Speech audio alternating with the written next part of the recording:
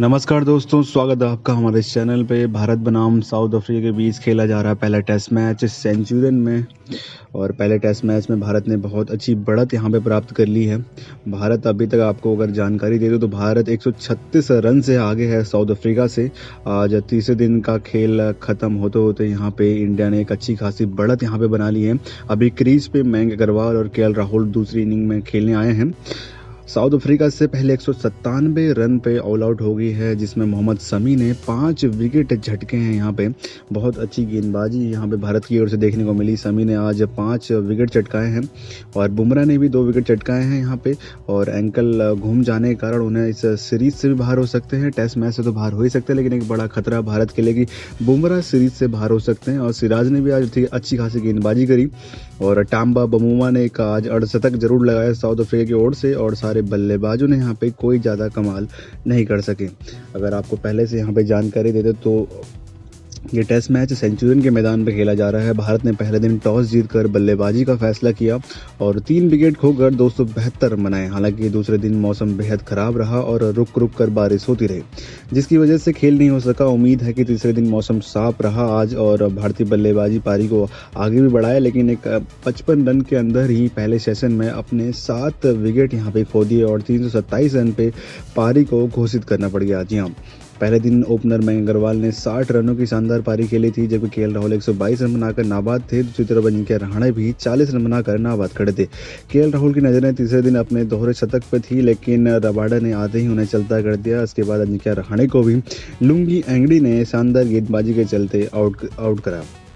लेकिन अगर पूरी बात करी जाए पहले दिन की तो भारत की ओर से सबसे अच्छी बल्लेबाजी के राहुल ने करी थी। 123 रन मारे थे यहाँ पे, और पहले दिन नाबाद थे, दूसरे दिन पूरी भेंट यहाँ पे बारिश की चढ़ी, बारिश पूरे दूसरे दिन यहाँ पे होती रही। लेकिन तीसरे दिन खेल हुआ, और राहुल का विकेट बहुत जल्दी रबाड़ ने चटक दिया यहाँ पे। एक सौ तेईस रन राहुल ने बनाए थे, मयंक अग्रवाल ने साठ रन बनाए थे, और पुजारा ने यहाँ पे कोई रन नहीं बनाया था। डक पे आउट हुए थे, कोहली ने पैंतीस रन जोड़ मारे थे, रहाणे ने फोर्टी मारे थे पंत ने आठ बनाए थे, अश्विन ने चार, ठाकुर ने चार, समी ने आठ बुमराह ने चौदह रन बनाए थे यहाँ पे, सिराज ने चार रन बनाए थे और, जो गेंदबाजी हुई थी साउथ अफ्रीका की ओर से, रबाडा ने यहाँ पे 26 ओवर कराए थे बेहतर रन दिए थे तीन विकेट के नुकसान पे, लुंगी एंगड़ी ने 24 ओवर कराए थे, इकहत्तर रन दिए थे छः विकेट के नुकसान पे। मतलब छह विकेट लिए थे लुंगी एंगड़ी ने यहाँ पे और रबाडा ने तीन विकेट झटके थे अपने इस पूरी आ, कह सकते तरीके से भारत की पहली इनिंग में और लुंगी अंगड़ी ने पहली बार छः विकेट झटके अपने देश में भारत के खिलाफ। ये एक कह सकते हैं अच्छा खासा मोमेंट रहा होगा लुंगी अंगड़ी के लिए और मार्को जैनसन ने भी एक विकेट यहाँ पर झटका भारत का। लेकिन भारत की ओर से के राहुल ने शानदार पारी खेली जिसकी बदौलत भारत तीसरे दिन भी अगर पचपन रन पर सात विकेट खोया तब भी एक बहुत अच्छी मज़बूत स्थिति यहाँ पे भारत अभी तक पहुँची हुई है।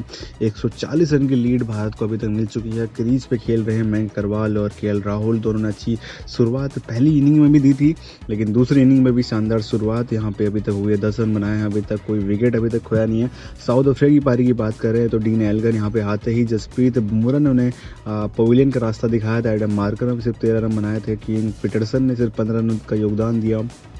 वेंडेड डसन ने यहाँ पे तीन रन बनाए टम्बा ममून ने ज़रूर पावन रन की एक अच्छी योगदान वाली पारी खेली और 103 गेंदों का उन्होंने सामना करा। डिकॉक ने यहाँ पे चौंतीस रन बनाए, तिरसठ गेंदों का सामना करा। और और कोई भी बल्लेबाज कुछ ज़्यादा कमाल यहाँ पे करता हुआ दिखा नहीं। रवाड़ ने ज़रूर यहाँ पे पच्चीस रन की पारी खेली पैंतालीस गेंदों में। लेकिन उसके बाद कोई भी बल्लेबाज, कोई भी गेंदबाजी यहाँ पे देखी नहीं। लेकिन समी की जितनी तारीफ़ करी जाए, उतनी कम है। समी ने आज पाँच विकेट झटके हैं यहाँ पे। सोलह ओवर कराए, चौबीस चौवालीस रन दिए, पाँच विकेट यहाँ पर झटके। बुमराह ने सात दशमलव दो ओवर कराए और चोट के कारण उन्हें मैच से बाहर जाना पड़ गया और दो विकेट उन्होंने भी झटके। सिराज ने भी यहाँ पे एक विकेट अपने नाम करा।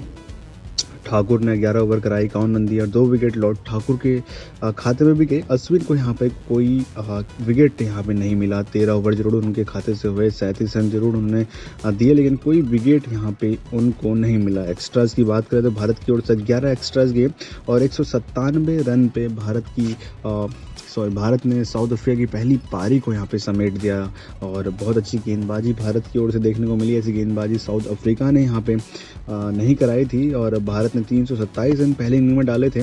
उसके बाद साउथ अफ्रीका की पहली पारी को एक रन पे ऑल आउट कर दिया यहाँ पे भारतीय गेंदबाजों ने। और कह सकते हैं जिस तरीके से अभी मैच चल रहा है, ऐसा लग रहा है कि भारत बहुत जल्द यहाँ पे इस मैच मैच को समेट सकता है। 140 रन की बढ़त अभी है तो कम से कम ढाई 250 300 रन की बढ़त तो ज़रूर चाहेगी। और चौथे, पाँचवें दिन तक ये मैच जाएगा, क्योंकि दूसरे दिन बारिश की वजह से मैच यहाँ पे ज़्यादा नहीं हो पाया था। पूरा दिन यहाँ पे बारिश होती लेकिन तीसरे दिन जैसे ही मैच स्टार्ट हुआ, आते ही यहाँ पे के राहुल आउट हुए अजिंक्य रहाणे आउट हुए, लेकिन लगातार विकेटों का पतन भारत का हुआ। पचपन रन पे सात विकेट यहाँ पे गवा दिए थे भारत ने। लेकिन उसके बाद जैसे ही साउथ अफ्रीका बल्लेबाज आए तो उनको भी यहाँ पे भारतीय गेंदबाजों ने बख्शा नहीं, और लगातार विकेटों का पतन साउथ अफ्रीका का भी यहाँ पे होता रहा। जी हाँ। पूरी अगर आपको बता दें, अभी तक 140 रन से ज़्यादा की बढ़त भारत के पास है। के राहुल, मयंक अग्रवाल, दूसरी पारी यहाँ पे खेलने आए हुए हैं। और भारत की पहली पारी तीन सौ सत्ताईस रन पर सिमटी थी। और दूसरी पारी का आगाज़ यहाँ पे अभी तक हो चुका है। जी हाँ।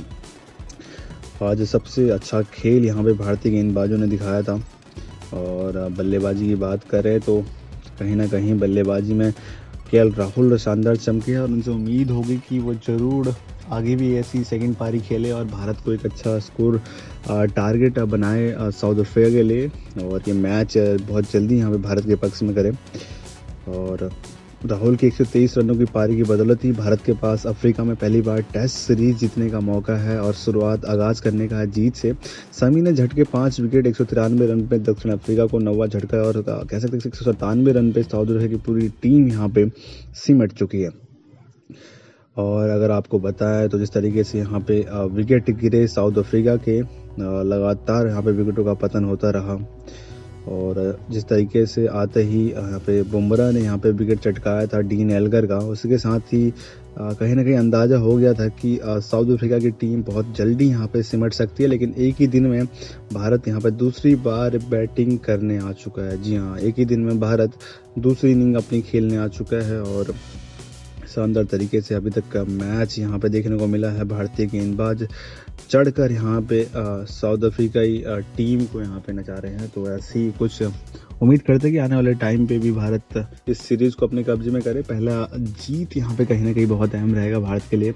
उनतीस साल से कोई भी जीत हम यहाँ पे साउथ अफ्रीकी सरजमी पे नहीं जीते हैं। तो इसे सूखे को ज़रूर ख़त्म करना चाहेगी भारतीय टीम और जिस तरीके से अभी खेल रही है अनएक्सपीरियंस बल्लेबाज। यहाँ पे साउथ अफ्रीका के अनएक्सपीरियंस गेंदबाजी यहाँ पे हो रही है साउथ अफ्रीका ओर से तो इसका पूरा पूरा का फ़ायदा भारत ज़रूर यहाँ पे उठाना चाहेगी और कहीं ना कहीं सीरीज़ को जीतने के लिए पूरा दमखम लगाएगी। और के राहुल के बारे में बात करें तो के राहुल लगातार यहाँ पे अच्छी पारियाँ खेली एक सौ तेईस रन उन्होंने पहली पारी में बनाए ऐसे इकलौते बल्लेबाज जिन्होंने सात आठ कंट्री में जाके अकेले यहाँ पे शतक बनाए हैं हर कंट्री में जाके।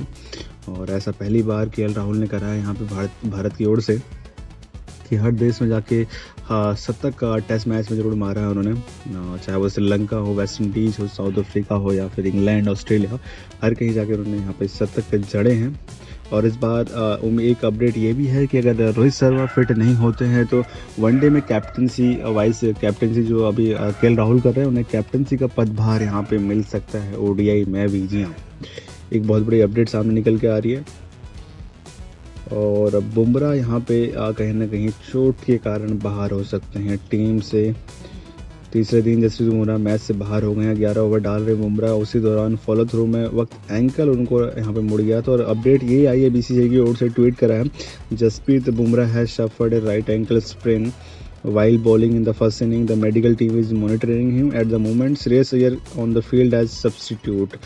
जी हाँ सब्सिट्यूट फील्डर श्रेयस अय्यर ज़रूर जसप्रीत बुमराह की जगह पे आए हैं लेकिन गेंदबाजी में कहीं ना कहीं एक बड़ा झटका भारत को यहाँ से लग सकता है। अभी तक का अगर आपको हल बता दें तो भारत बहुत मज़बूत स्थिति में अभी दिख रहा है हम। 142 रन की लीड यहाँ पे हो चुकी है 12 रन पे भी खेल रहे हैं के, केल राहुल और मयंकरवाल केल राहुल पाँच रन बना के खेल रहे हैं मयंकरवाल चार रन बना के खेल रहे हैं। और कितनी लीड जाती है तो आने वाला वक्त बताएगा लेकिन भारत ज़रूर इस सीरीज़ को यहाँ पे जीत से आगाज़ करना चाहेगा।